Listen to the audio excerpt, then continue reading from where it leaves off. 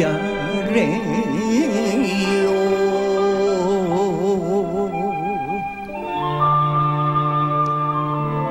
源氏の棟梁源頼朝公の命を受け那須の与一の弟大八郎が平家追討の軍を率いて日向の国椎葉の里に入ったのは文治5年秋も終わりに近い11月初めのことでありました。三郎だ。そちの我が一族を思う気持ちはわかるがそれほどまでに落ちぶれ果てた戦う気力とて失ってしまったものをどうして討てようぞ。この大八郎には討てぬ。討てぬ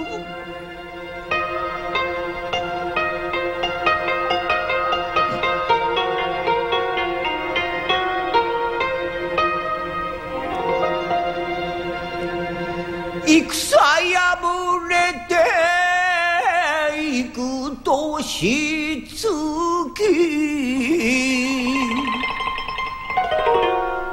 ぐに家なき山里で木の実をかじり草をはみ。上と寒さに耐えながら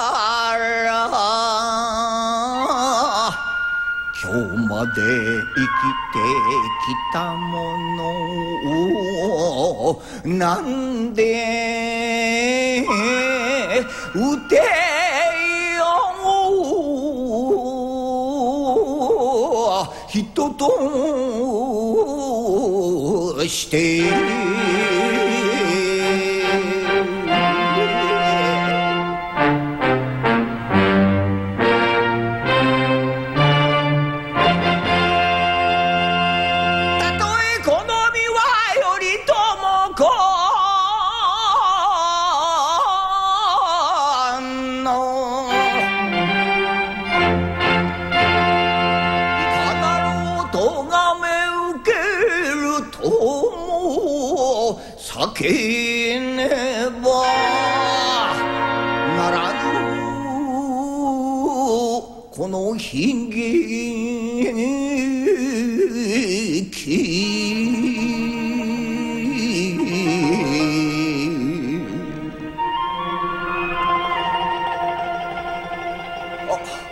大将に申し上げます。ただいま平家一族と名乗る女子が一人。何かお願いがあるとか申してお目通りを願い入れておりまするが。何？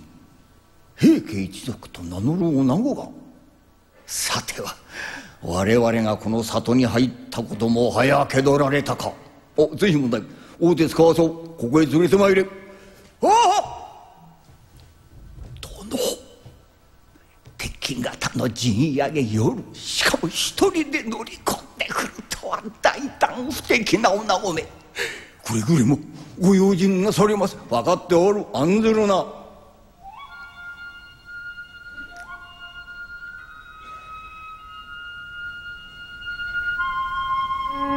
これ女子その方名は何と申す？鶴富と申します。年はいくつじゃ？18でございます。してこの大八郎に願いとは？一体どのようなことじゃ？言うてみよ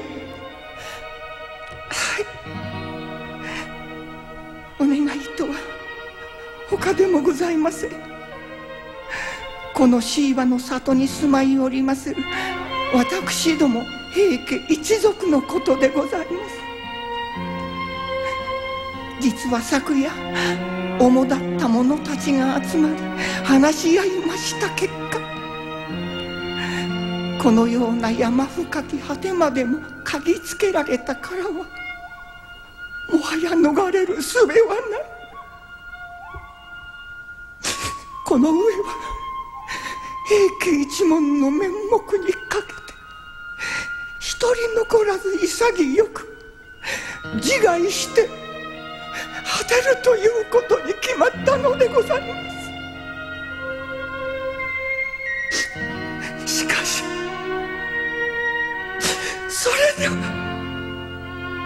あまりにも女の子供たちが不憫でなりませんできることなら私の命と引き換えにせめて女子子供たちだけでも何とぞ何とぞお助けくださいますよ。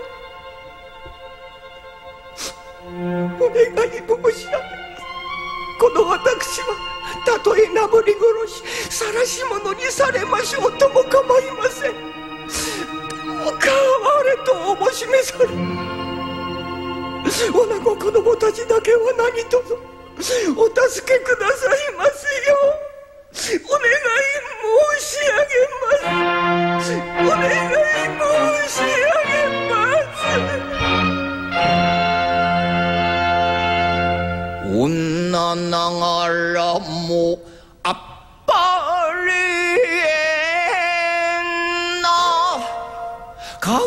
覚悟の報道を聞かされて心打たれた。第八論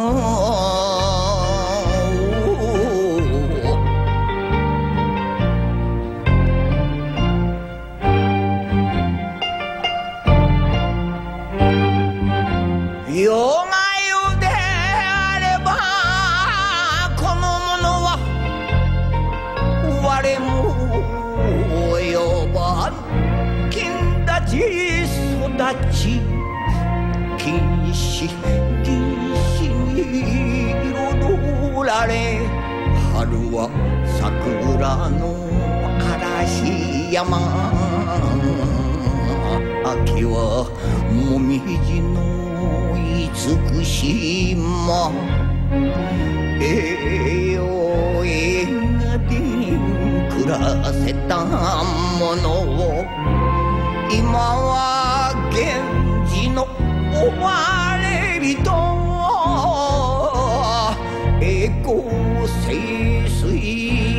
衰世の習い明日はわからぬうつしよう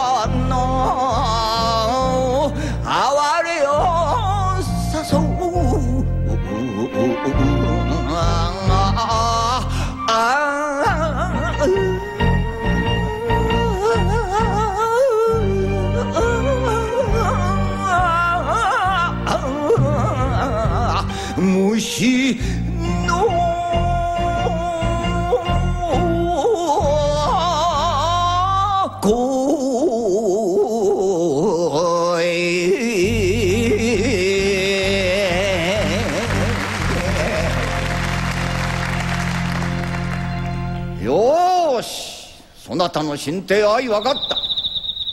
力は明日の暮れむつ15歳以上の男たち一人残らず自害するを覚悟で当陣屋へ出頭させること。しかと約束できるか？はい。しかとお約束いたしまする。時につかぬことを尋ねるが猿屋島の合戦の折そなたいずこにいた。はい。清盛様のご正室二位の尼様に従い恐れ多きことながら安徳天皇をお守り申し上げ御座船に乗っておりました。おお御座船に乗っていたのか。それではあの扇の的のこと存じていよう。はいそれはもうよく存じておりまする。あの時の那須の与一とかいうお方のご評判は平家方でも敵ながらあっぱれと。それはそれは大変なものでございました。私はあの扇の的を掲げておられました。玉虫という姫様に仕えていたものでございます。そうであったか。いやその那須の与一というのはこの大八郎の実の兄。人の出会いとは不思議なものよの。これは船内ことで手間を取らせた。そなた早々に立ち戻り宣告約束のこと一族の者に伝えるがよかろう。この大八郎とて人の子。情けは存じておる。決して悪いようにはいたさぬゆえ誤った考えなどを起こしてはならんぞ。よいな。はい。お心遣いありがとう存じます。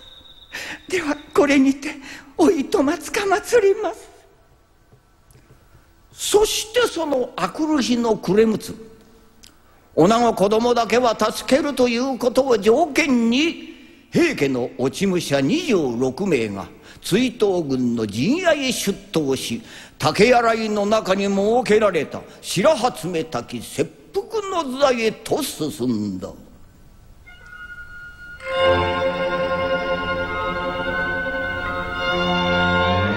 卒じながら一同に申し上げる那須の大八郎宗久鎌倉におわす源氏の棟梁源頼朝公の命を報じ本日ただいまおのおの方に切腹を申し渡しご最後をお見届けつかまつる。さようご承知あれえー、そればご解釈の儀はそれがし那須の三郎代か五名の者がお務めつかまつる。では一度お覚悟を。三郎だ待て。もうよい。それまでじゃ。もうよい。お御大将。この後に及んで待てとはなぜでござります。恐れ多くも頼朝公のご命令に背き立てまつり。我が那須家を潰すおつもりか。御大将それはなりませぬぞ。この三郎だ家臣として承知できません。えい待てと言うたら待て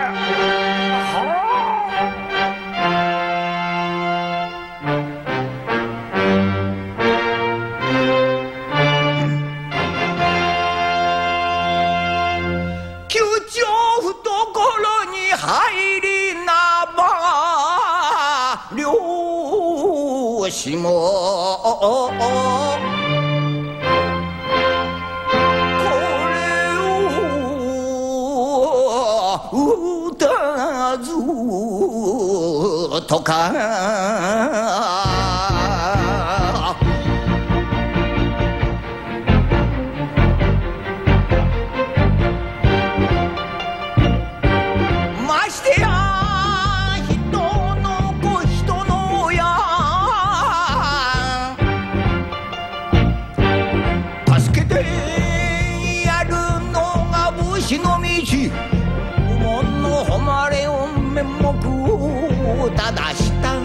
らに守るため一度死ぬ気でいるもの。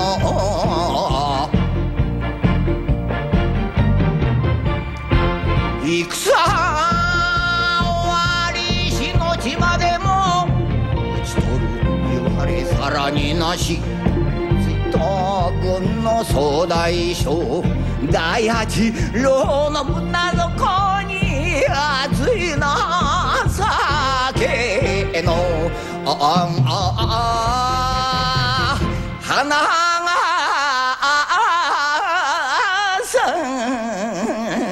咲く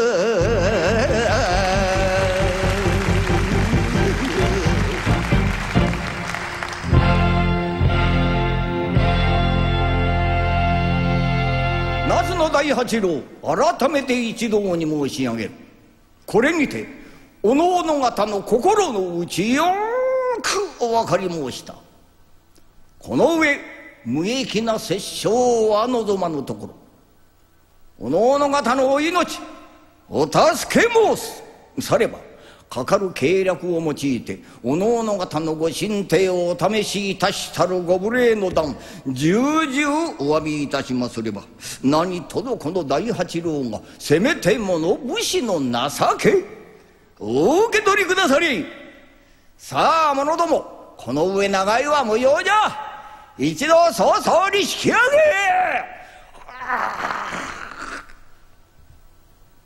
戦が終われば同じ人間同士。人の命の尊さに何の変わりがありましょう。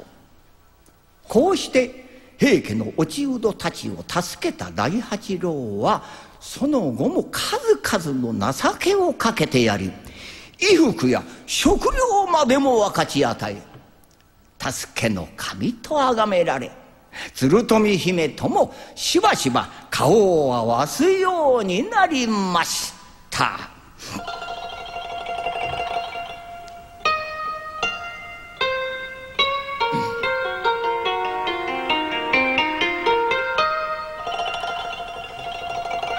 遠くて近きは男とな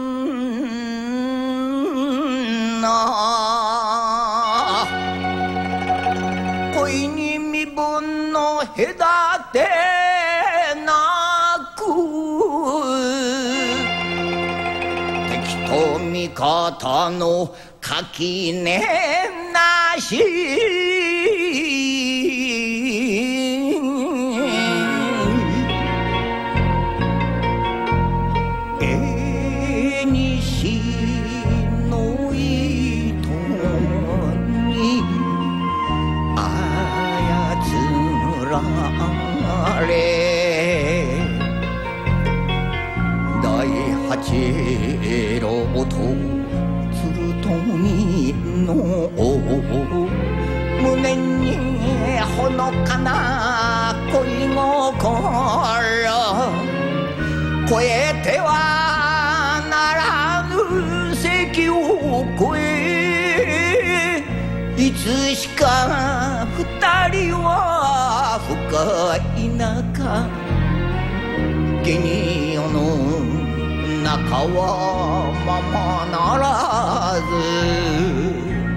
恋の命は短くてやがて二人に死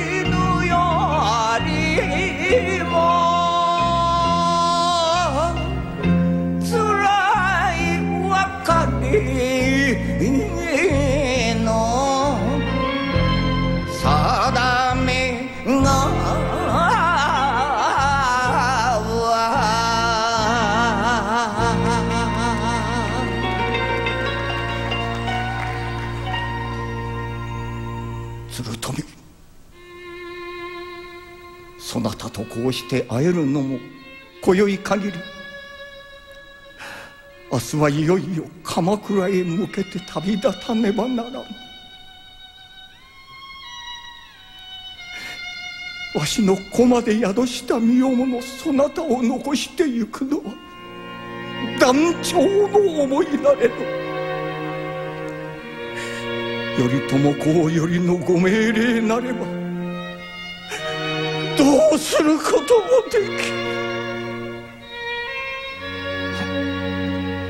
この大八郎の身勝手どうか許してくれ。何を仰せられます。この鶴富は大八郎様のお情けがなかったらあの時死んでいた女子でございます。大八郎様と結ばれたあの世からこの日の来るのは覚悟いたしておりました。たとえ小代わり死にしましょうとも大八郎様のお名前を汚すような未練な振る舞いわけしていたしません。それに私の体の中には大八郎様のややがいるんですもの。どのような苦労にも耐えてゆけまする。どうかどうか私のことなどお気になされず心置きなくお立ち去りくださいませ。鶴富よくぞ言うてくれた短い間ではあったが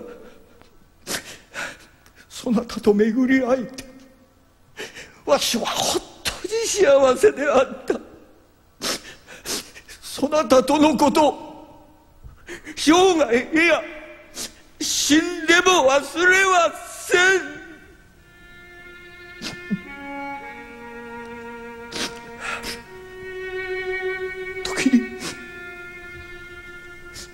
の子たちは那須家に代々伝わる天国の名刀。それからこの書状はわしがかねてよりしたため大きし者生まれくるややが男であったらわしの二文字を取って那須の源八郎女子の子であれば楓と名付け10歳になった暁にはこの二品を携えてそなたともどもわしの小国下野の国まで訪ねてまいるがよい。その頃になれば世の中も平静を取り戻しほとぼりも冷めていよう。その時までわしは妻などめとらずそなたたちが来る日指より数えて待っている鶴富わしの妻は生涯そなた一人じゃ。大八郎様。鶴富そうなやつ許せな許せ許せ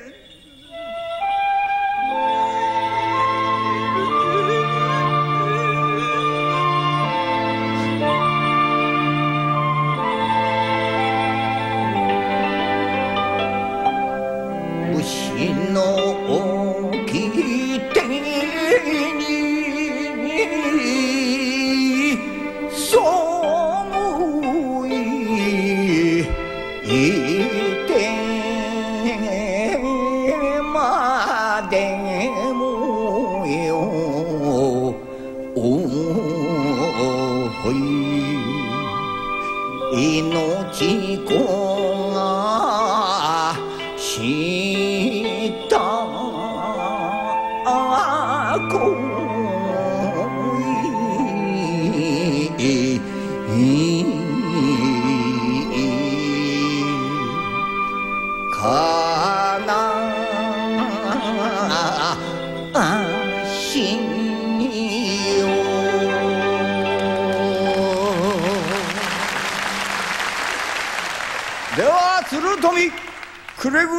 体を伊藤出た所で暮らせ。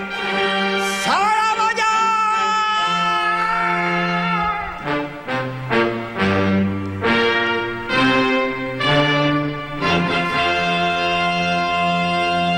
つらいさだ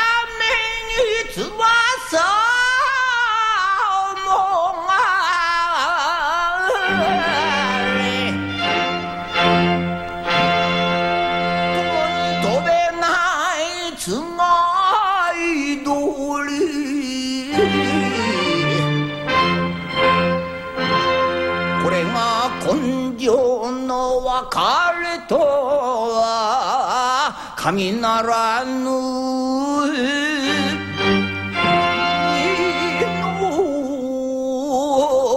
たれし泣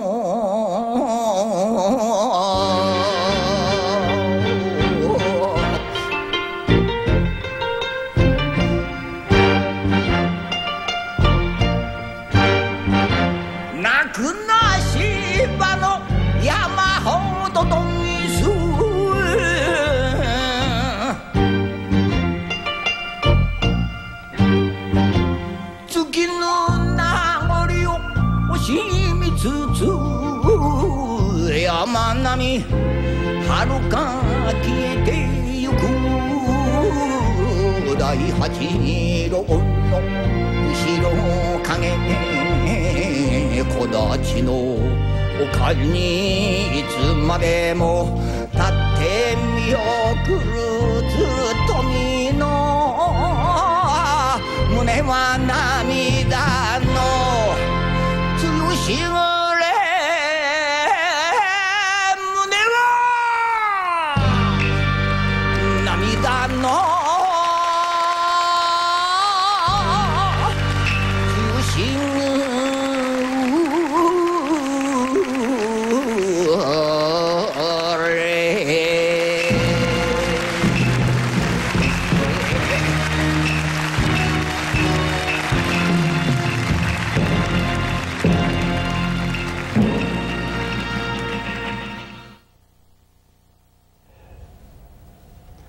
どうもお疲れ様でした、いやどうもありがとうございます。えー、真山さんといえば演歌浪曲。洋楽伴奏を浪曲に取り入れるっていう試みは随分昔からなさってますけども。応昔からそれはねやってはいたんですがねまさかねそれをこう全編でやるということは考えていなかったですね、ねそのきっかけというのは何それがね曲師の人がうちへ来てくれて東谷菊江さんという曲師でねこれはもうね関東関西通じてもねそれはトップクラスの人でしたからね。名曲師ですよね。だからこの人が来てくれたのは嬉しかったんですけどね。ところが結局お年やから何年までやってくれるかなと思いながらしたら15年。